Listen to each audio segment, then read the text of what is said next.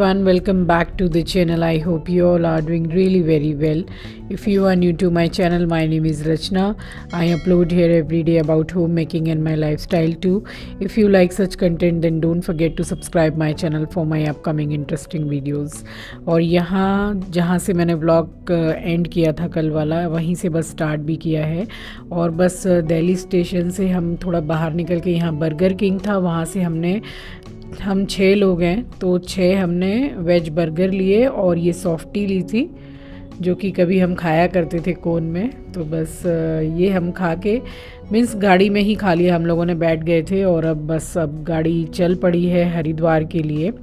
और दिल्ली टू हरिद्वार हम लोग बाई कार गए हैं। क्योंकि जो हरिद्वार एक्सप्रेस की टिकट्स दो तीन बार बन के कैंसिल हो गई थी, डिले हो जा रहा था, फॉग की वजह से गाड़ी ही पूरी डिले हो जा रही थी तो उसकी वजह से हमने फिर राजधानी की टिकट्स बनवाई थी।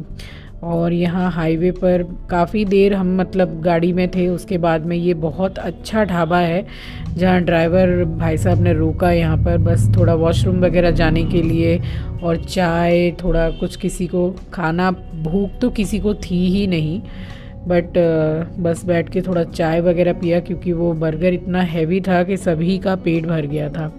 और यही वो ढाबा है, बहुत अच्छा ढाबा है। हर चीज़ की यहाँ फैसिलिटी थी और स्पेशली यहाँ पर मतलब साफ़ सफ़ाई बहुत अच्छी थी। तो आधा घंटा तो यहीं पर हो गया था और एक नहीं दो दो चाय पी कुल्लड़ वाली बड़ी अच्छी थी। तो ये वो ढाबा है और यहाँ से फिर डायरेक्ट मतलब निकलने का प्लान था कि बस अब हरिद्वार जाकर ही रुकेंगे और ये देखिए अंदर से ढाबा एक्चुअल में लिखा हुआ है बट पूरा होटल की तरह है। बहुत सुंदर था, बहुत अच्छा। तो मैंने और मम्मी ने तो दो दो चाय पी कुल्हड़ वाली थी और वाकई में जब से घर से हम निकले हैं सफ़र के लिए, तब से यही वाली चाय सबसे बेस्ट लगी। तो दो दो कुल्हड़ हम लोगों ने चाय पी यहाँ पर। वॉशरूम है, सब चीज़ की फैसिलिटी थी यहाँ पर। अभी टाइम हो रहा है तीन बज के पचास मिनट और आए हैं ये वाले ढाबे में। शिवा टूरिस्ट ढाबा है और काफ़ी बड़ी जगह में है। तो यहाँ रुके हैं। वहाँ से तो बर्गर वगैरह लेके सबने ही खा लिया था। तो बस यहाँ थोड़ा चाय वगैरह पियेंगे, आँचल, चॉकलेट, शेक, वो जो बच्चों का लगा रहता है सब। तो थोड़ा सा बस चाय वगैरह पी के अब यहाँ से निकलेंगे और डायरेक्ट रुकेंगे हरिद्वार में अब। और यहाँ ठंड है गाइस यहाँ ठंड है। और वैसे तो हम बिल्कुल इंतज़ाम से आए हैं। तो अब जा रही हूँ अंदर, चाय वेट कर रही है, चाय पी के और अब डायरेक्ट हरिद्वार ही रुकेंगे हम। और यहाँ पे पूरा जैसे कि पिक्स वगैरह लगाते हैं ना, क्या फ़ूड आइटम मीन्स अवेलेबल है इस ढाबा में। तो इतना अच्छा अच्छा मतलब पिक्चर्स लगा के रखा हुआ था। कुछ केसर वाली लस्सी थी एंड केसर, ड्राई फ्रूट, कुल्फ़ी और लस्सी के काफ़ी आइटम थे तो हम लोगों ने तो चाय ली थी और आंचल ने लिया था चॉकलेट शेक तो इस तरीके से सबने थोड़ा थोड़ा कुछ ले लिया था और ठंड बस बढ़ रही थी क्योंकि शाम होने को आ गई थी और ठंड बढ़ रही थी, हाथ वाथ पूरे ठंडे पड़ गए थे तो फिर और लेकिन हाँ ये है कि यहाँ की चाय पी के बड़ा मज़ा आ गया एकदम और ये पहली, पहले दो चाय ली थी, उसके बाद फिर एक एक ये चाय आई है हम दोनों की, मेरी और मम्मी की। और आवाज़ मतलब थोड़ी आप लोगों को थोड़ी डिफरेंट लग रही होगी क्योंकि यहाँ थोड़ी ठंड ज़्यादा है तो गला भी थोड़ा बैठ गया है। और यहाँ बस खा के खा के क्या चाय वगैरह पी के और उसके बाद में सिर्फ़ रितेश ने ही एक प्लेन डोसा ले लिया था तो उन लोगों ने यहाँ सौंफ और ये जो मिश्री देते हैं बस वो दिया था। अब ये खा के अब दोबारा से गाड़ी में हम जा रहे हैं और ठंड इतनी बढ़ गई थी, इतनी बढ़ गई थी कि बस लग रहा था कि शॉल से भी काम नहीं चलेगा। और अभी तो हरिद्वार पहुँच भी नहीं पाए थे। दिल्ली में भी अच्छा खासा टेम्परेचर डाउन हो जा रहा है, भोर में और रात में। तो बस ये निकल गए थे और ये देखिए, ये शाम की क्लिप है। मीन्स अभी अभी भी पहुँचने में हम लोगों को कम से कम एक घंटा बाकी था। साढ़े पाँच का टाइम हो रहा होगा शाम का। तो कितना कुहासा और फॉग है देखिए। बस इसी वजह से हम दिल्ली में एक दिन स्टे करना सोच रहे थे कि अगर हम लेट गाड़ी और लेट होती है तो फिर हम स्टे करेंगे। बट ठीक है, कुछ नहीं तो पौने दो दो बजे तक हम पहुँच गए थे तो निकल गए वहाँ से और ये हम पहुँच गए हैं हरिद्वार। ये एकदम मेन मार्केट है, काफ़ी अच्छा बाज़ार है पूरा, क्या नहीं मिलता है यहाँ पे। तो बस एकदम मेन मार्केट में ही हमारी होटल है और काफ़ी अच्छी होटल है मतलब।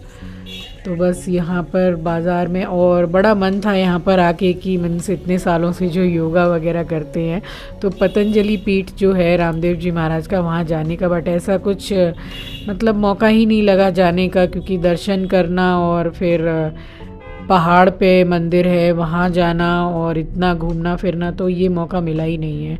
और यहाँ होटल में आ गए हैं। शिव मूर्ति नाम है होटल का, काफ़ी अच्छा है।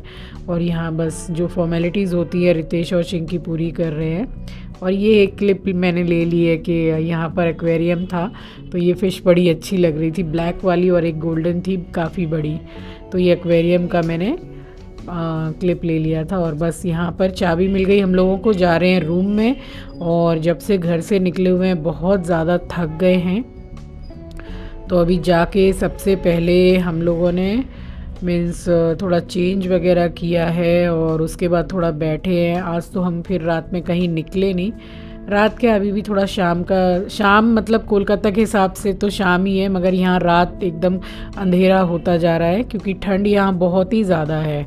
तो अंधेरा बिल्कुल हो जाता है, पाँच तो बहुत दूर की बात है, साढ़े चार बजे से अंधेरा होना शुरू हो जाता है यहाँ पे।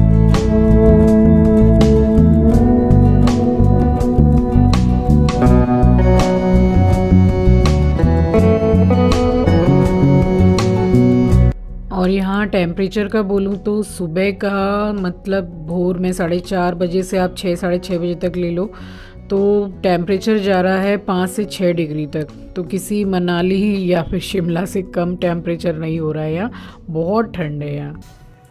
अभी अभी जस्ट हम लोगों ने होटल में चेक इन किया है और सात बज के एक मिनट हो रहे हैं।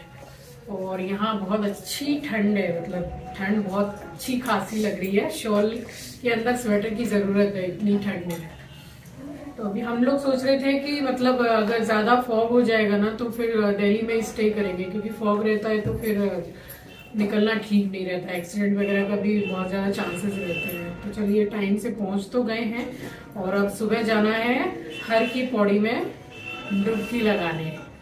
तो अभी बस अब थोड़ा चेंज करेंगे। कल रात के जो शाम से निकले हुए हैं घर से, अब जाके थोड़ा आराम से बैठे तो जरा चेंज वेंज करके उसके बाद मिलते हैं उससे और अब चल के देखती हूँ कि अब दूसरे वाले रूम में क्या हो रहा है। 102 नंबर रूम में है चिंकी, रितेश और हस्बैंड मतलब एक रूम में जेंट्स रुके हुए हैं और एक रूम में हम तीनों लेडी तो बस यहाँ गई तो चिंकी अपने पापा के संग बाहर गया है। वो लोग कुछ मतलब चाय वाय पीने गए कि कुछ खाने गए हैं। रितेश लेटा हुआ है और 104 नंबर रूम हम लोगों का है। तो बस रूम अच्छे ही हैं मतलब दो चार दिन अगर स्टे करना हो तो उसके लिए बुरे नहीं हैं। काफ़ी अच्छे रूम हैं और बेड का साइज़ भी बहुत अच्छा है। तो बस यहाँ थोड़ा सामान वामान निकाल रहे हैं और मैंने तो मोजे वोजे सब निकाली क्योंकि ठंड इतनी ज़्यादा लग रही थी। और यहाँ चिंकी आ गया है, वो बोल रहा था कि नीचे एक सोया चाप करके मिल रही है। यहाँ तो मीन्स सब कुछ तो वेज ही खाना है क्योंकि आए हुए हैं यहाँ दर्शन करने के लिए। तो यहाँ और यहाँ पर नॉनवेज मिलता भी नहीं है। तो नॉनवेज तो चलना भी नहीं है हम लोगों को, सारा कुछ वेज ही चाहिए। तो सोया चाप उसने नीचे से ला के खिलाई तो वो बहुत ज़्यादा पसंद आई बहुत अच्छी थी मतलब इतना अच्छा आइटम है सोयाबीन का। यहाँ चल रहा है अच्छा खासा इन्जॉयमेंट और खूब हँसी मज़ाक हो रहा है।